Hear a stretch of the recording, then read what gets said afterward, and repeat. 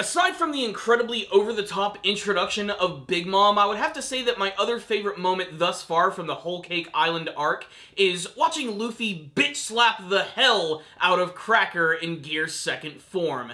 That's just one of the many awesome scenes from this week's surprisingly kick-ass episode of One Piece. This is the episode that I've been waiting for, a super well-balanced one, where we had some great action scenes, we had some cool character growth from Nami, and we finally got to delve a little bit deeper into the past of Sanji, which is just as tragic and disturbing as you could possibly imagine. That and the fact that, come on, Luffy bitch slapping Cracker. Like, he could have come in and just punched him. He could have done like a Gomu Gomu pistol or a freaking Gatling styled attack. No, he bitch slapped him.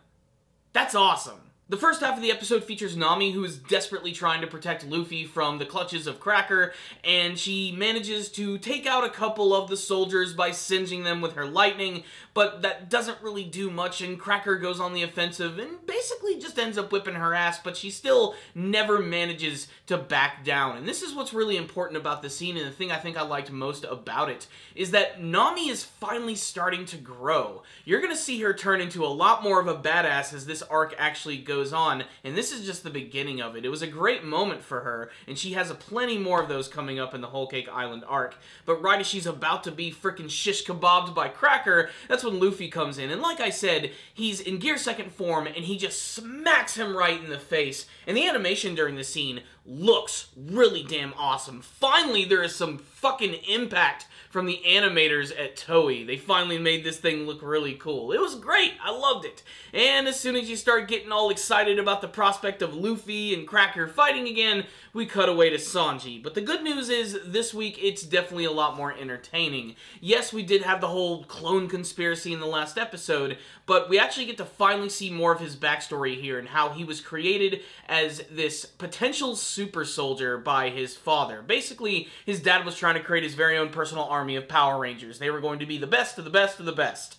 And Sanji himself was certainly not the best. He couldn't catch up with his brothers and his sister. He was considered weak, and they show us a number of different exercises that they go through to actually illustrate this, like them actually running through an obstacle course with hurdles which are on fire, or jumping down from the top of a balcony and being able to absorb the blow without breaking your legs. And every single time, he just ends up falling flat on his face and disappointing his father to the point where his father becomes so embarrassed by him that he actually fakes the fact that he was caught in a tragic accident and died. He relays this to the entire kingdom, but in actuality, he's actually locked up Sanji and thrown him in prison and is forcing him to wear an iron mask simply just to torture him. He doesn't even tell the brothers or Reiju. It's really damn fucked up, and that's just one of the many scenes that make this a very disturbing backstory for Sanji.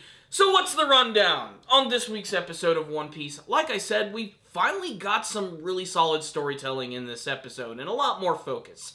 The first half of the episode was devoted to Nami and Luffy going up against Cracker, and the second half of the episode we finally got to see some new material from Sanji's past, which is incredibly disturbing.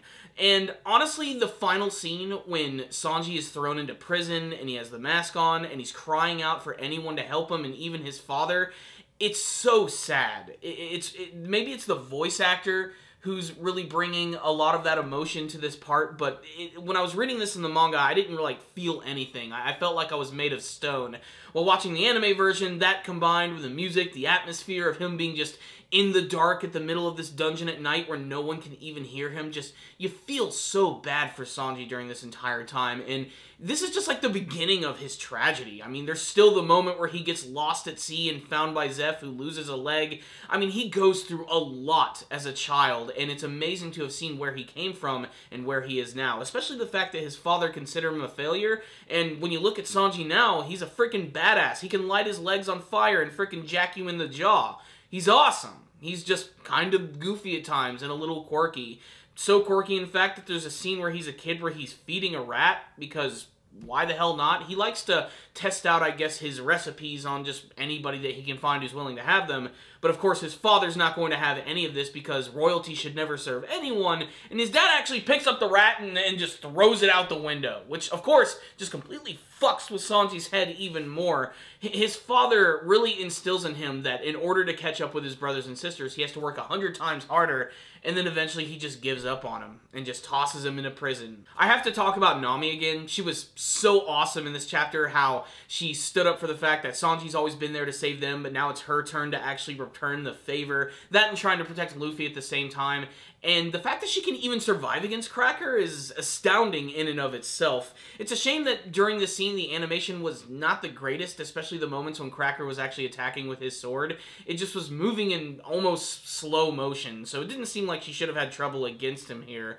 But really, it's pretty obvious that they're saving their budget for an even bigger episode that's coming up, or maybe they were just pouring it into that one scene where Luffy just comes in and smacks freaking Cracker across the face with the palm of his Gomu Gomu no hands. This was a solid episode of One Piece, which is totally worth your time if you're watching the series, especially if you do not read the manga version, as this one finally starts to get into Sanji's past a little bit more, and some of it is even expanded upon upon the things that we see in the anime or in the manga version. So that's another good reason to actually check it out. I'm to give this episode right here a 4 out of 5. Some of the animation and artwork, of course, was not really all that great and lacked a little bit of impact, but for the most part, story-wise, the Luffy moment, Nami being awesome, this was a solid package right here. Check it out, guys.